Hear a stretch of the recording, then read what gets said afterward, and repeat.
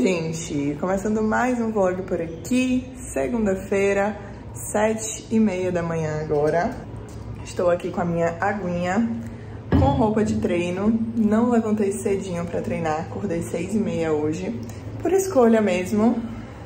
E um pouco de preguiça, falta de vontade. Mas tudo bem, mais tarde vou, já coloquei minha roupinha aqui pra tentar ir umas 11 horas mais ou menos. Vamos ver se eu vou conseguir. Hoje eu quero, preciso, barra quero, lavar roupas, preparar as comidas para a semana e que mais?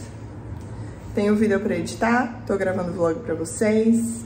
Em paralelo, tô gravando um vídeo também só de ideias de jantar, que eu só vou postar na semana que vem. Então, hoje também vou preparar aí de noite uma comidinha um pouco diferente. E é isso, segundou, vamos começar aqui o dia.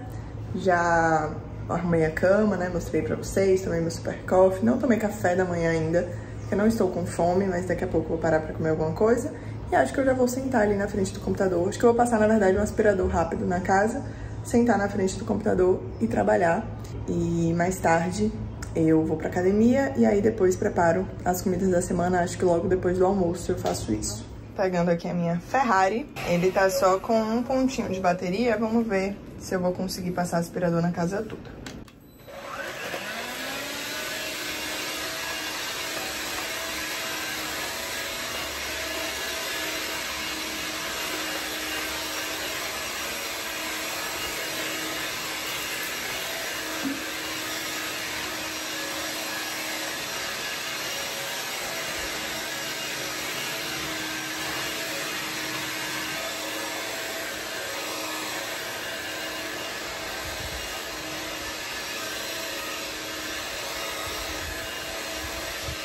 Com um pontinho só de bateria, consegui passar quase na casa toda. Faltou só o escritório, o meu escritório. Mas tá ótimo. Agora eu vou colocar ele ali pra carregar.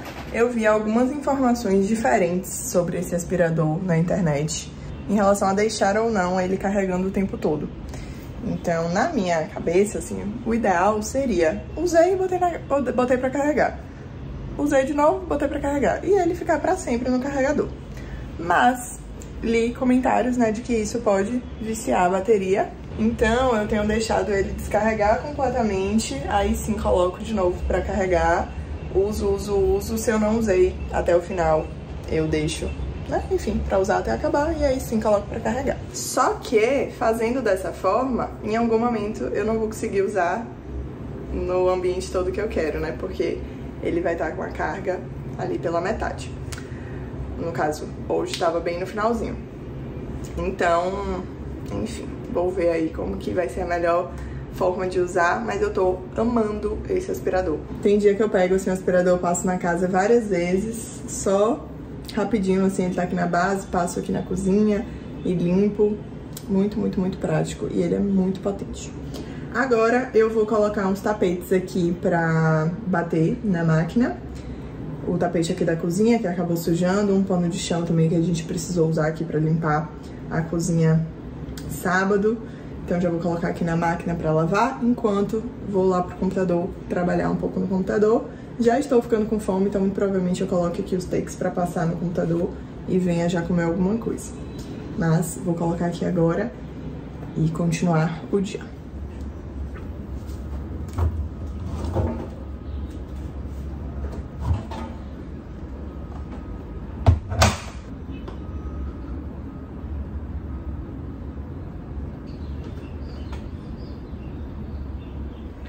Terminei de editar o vídeo do canal meia hora antes do tempo que eu determinei. Tinha colocado pra terminar até 11 e 10 e meia. Terminei, agora são 10 e 40 e eu vou descer pra academia fazer uma horinha aqui de exercício.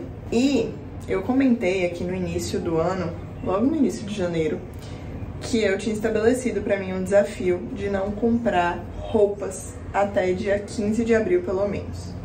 E eu estou firme e forte no desafio. Já estamos na metade de fevereiro, não comprei nada, nenhuma pecinha de roupa para mim. E uma outra, um outro desafio que eu estabeleci assim, ele é sem data para acabar, ele é mais pra vida como um todo, que é eu realmente só comprar aquilo que eu preciso e ainda não tenho. Então, se eu tenho a coisa, eu não deveria precisar de outra, né? Então, se eu realmente preciso é porque eu não tenho ainda. E esse é um exercício legal na minha concepção de se fazer, porque a gente tende a querer muitas coisas, às vezes, da mesma coisa, né? Então, é, sei lá, sabonete de rosto. Eu tenho um, ah, mas eu vi esse aqui, quero testar também. E aí nisso a gente acaba acumulando bastante coisa. Então, são esses dois desafios que eu tenho tentado seguir aqui no meu ano. Daí, eu lembrei de falar isso aqui agora porque quando eu meu desafio de roupas acabar, obviamente eu também não vou sair comprando loucamente, não é esse o intuito. Mas definitivamente eu preciso de roupas de academia. Eu tenho até em volume, assim, uma quantidade ok, mas elas já não estão mais legais, assim.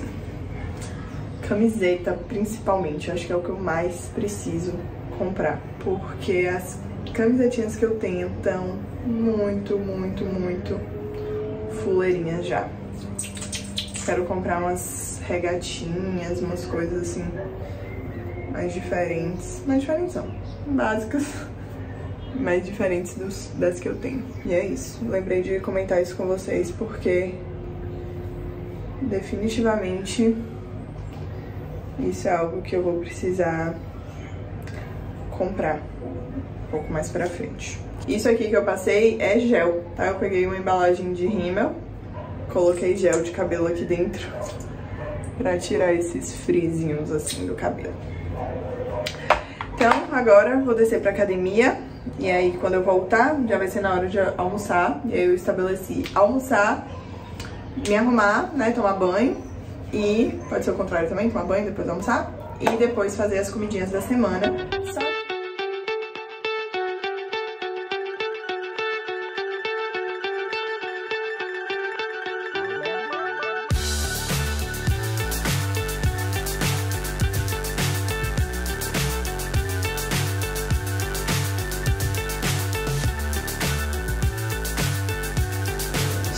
da academia, agora são 12h20 e esse aqui é o meu almoço que se resume a acabar tudo que tem na geladeira antes de fazer comida nova. Essas duas massas aqui eu servi sexta-feira para os meus amigos que vieram jantar aqui em casa. É um rondelli e um sofioli, que chama. Daí, esse frango foi o meu almoço de ontem, que eu comprei, tá no vlog de domingo, inclusive, que eu comprei para levar para casa da minha mãe. Daí eu comprei um uma parte para trazer aqui para Matheus almoçar, já que ele não tinha ido, e uma saladinha aqui de alface, tomate e cebola roxa.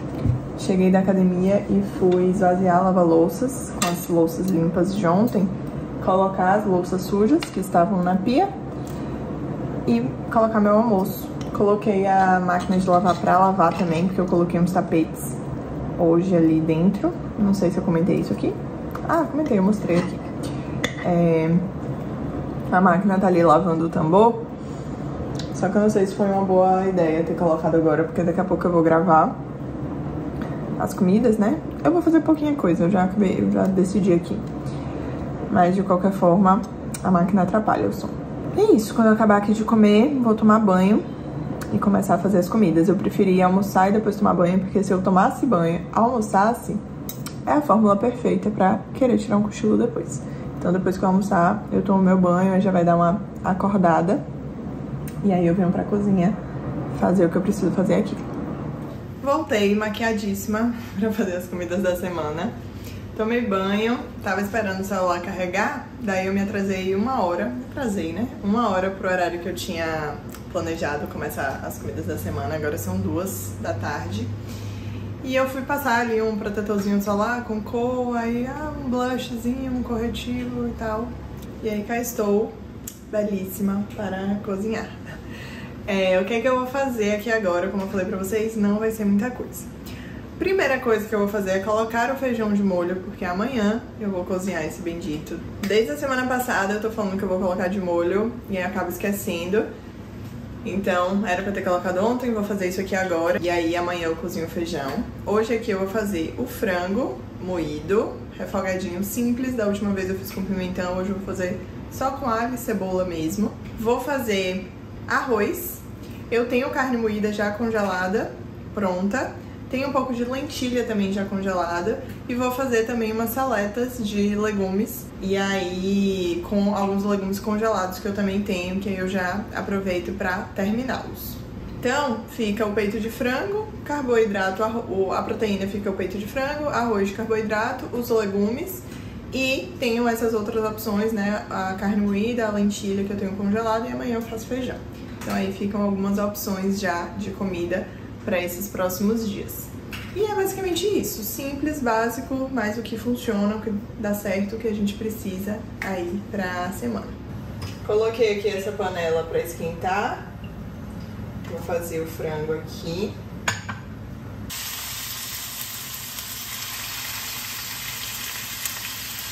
Confesso que esse frango não é a coisa mais bonita do mundo de se fazer. Mas acreditem que é bem prático.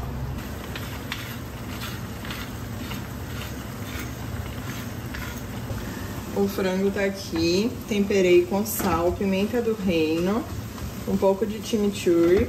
Daí eu vou colocar alho e cebola e vou colocar um pouco de extrato de tomate também pra dar uma corzinha e não ficar assim tão branquinho.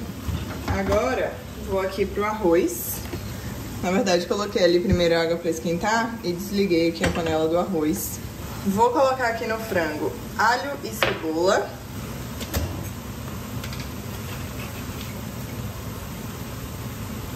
Eu gosto de fazer esse círculozinho assim no meio, só pra que essa cebola e alho derreta bem, já que estavam congelados, aí daqui a pouco a gente mistura.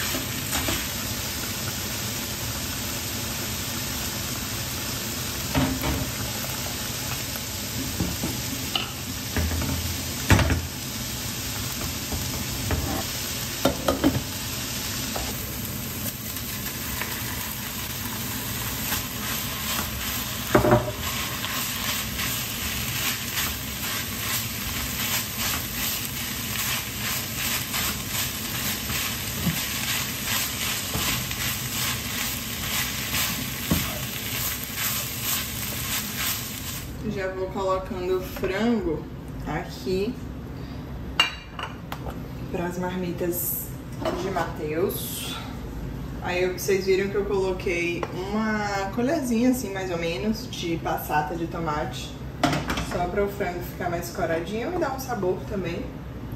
E aqui eu vou colocar 120 gramas para ele.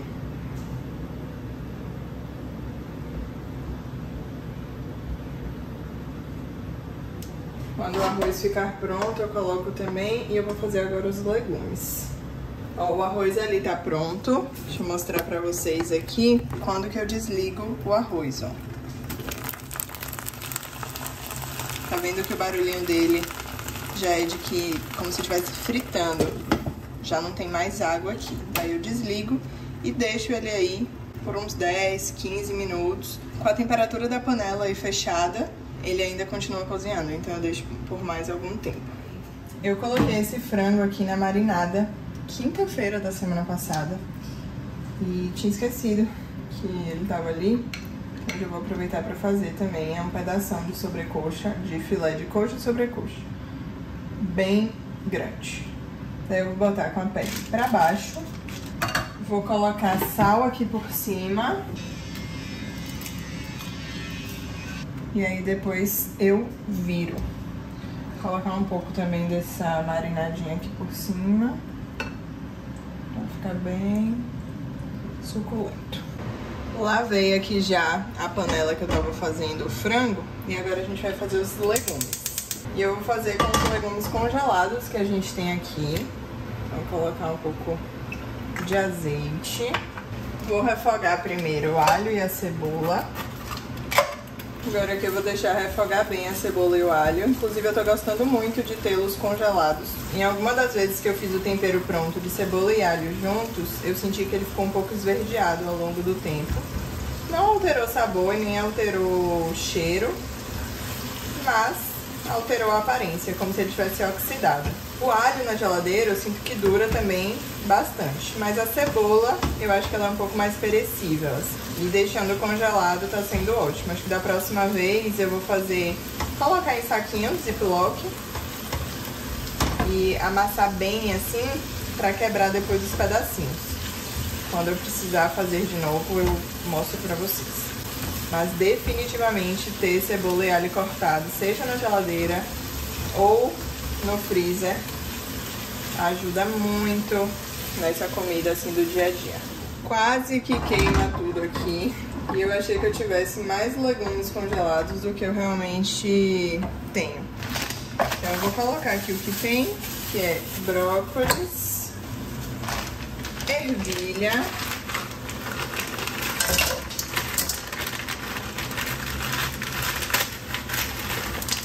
milho e vou colocar aqui umas cenourinhas que não estão congeladas, mas tá valendo também.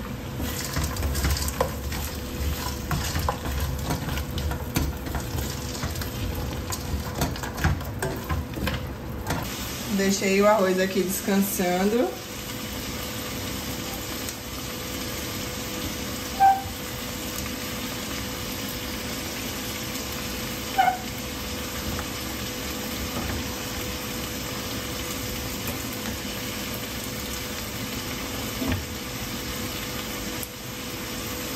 E aqui resultado. Agora eu vou colocar ali nas marmitas. Nossa, tá cheiroso. Vocês viram que eu fiz só com alho. Essas últimas vezes eu tenho feito só com alho. E eu gosto também. Mas também gosto de colocar cebola. Vou variando.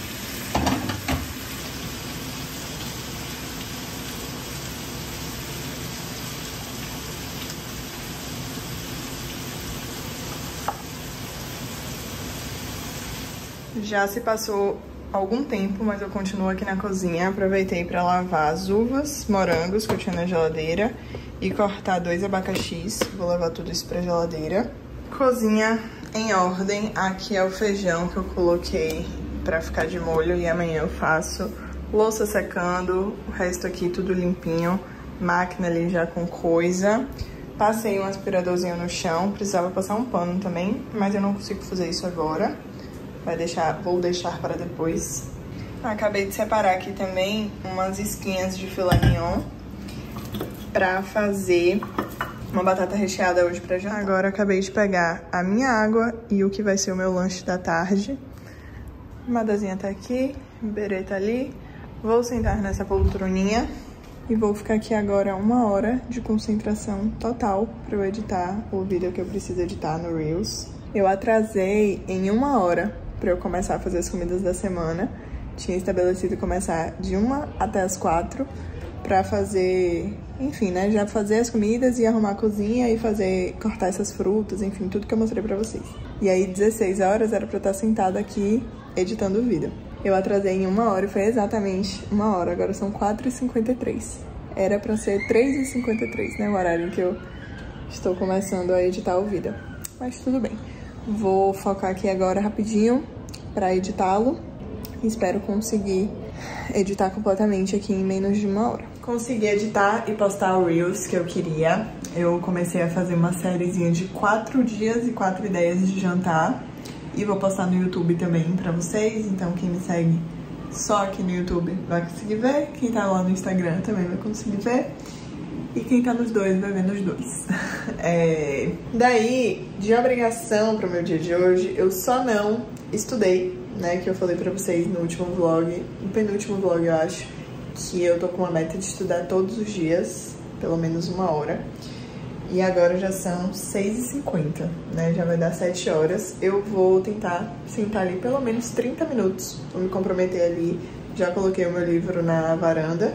Matheus ainda não chegou do trabalho, então tá mais de boa, porque quando ele chega aí eu gosto de, de já parar, né? Pra gente ficar um pouco juntos aí de noite. Então vou esperá-lo chegar estudando e depois eu vou fazer o nosso jantar Assim que ele chegar, eu também paro pra fazer, porque vai ser bem rapidinho e é bom que fica quentinho.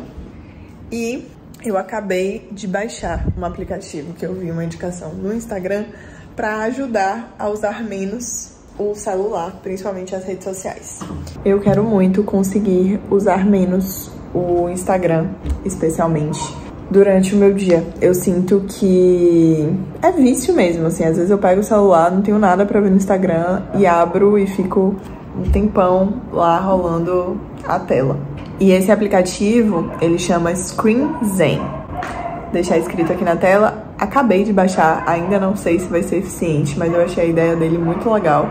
Que você seleciona quais aplicativos você quer que esteja lá no controle, determina qual é o tempo que o celular vai respirar antes de abrir o Instagram ou o aplicativo que você escolher, quanto tempo você deve ficar usando e quantas vezes você deve abrir durante o dia. Quando você abrir o aplicativo, vai aparecer a mensagem que você escolheu, então essa é uma boa hora? O que você realmente vai olhar aí no aplicativo? Isso não pode esperar? Enfim, é realmente importante? Tem algumas mensagenzinhas padrões lá do aplicativo que você escolhe e aí fica aparecendo essa mensagem por 10 segundos para você escolher se realmente você quer abrir ou se você quer cancelar. Então, se você escolher abrir, ele contabiliza dentro das quantidades de vezes que você colocou lá no dia e o tempo que você deve ficar é, conectado ali no, no aplicativo. Veremos. Eu coloquei para abrir 15 vezes ao dia, talvez eu aumente um pouco, porque eu trabalho com isso, né? Então eu preciso abrir.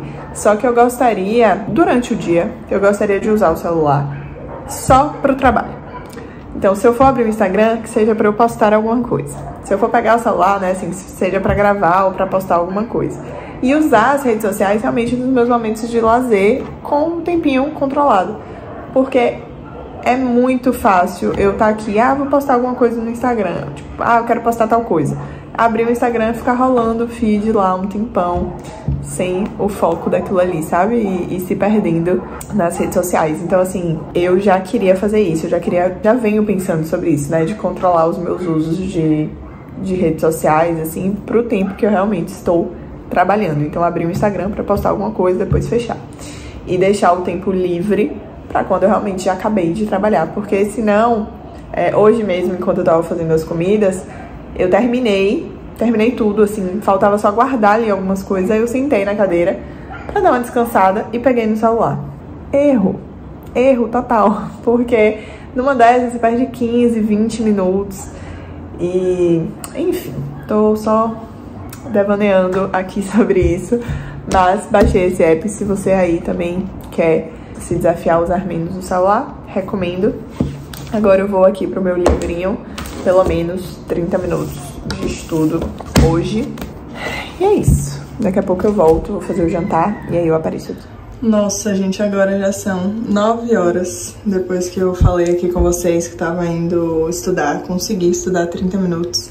Assim que eu acabei, assim que deu 30 minutos, Matheus chegou, daí eu fui já preparar nosso jantar.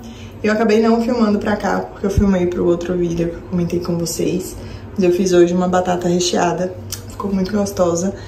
Vou colocar todos os detalhes. Vai sair tanto no Instagram, muito provavelmente já saiu no Instagram no, no dia que esse vlog aqui sair.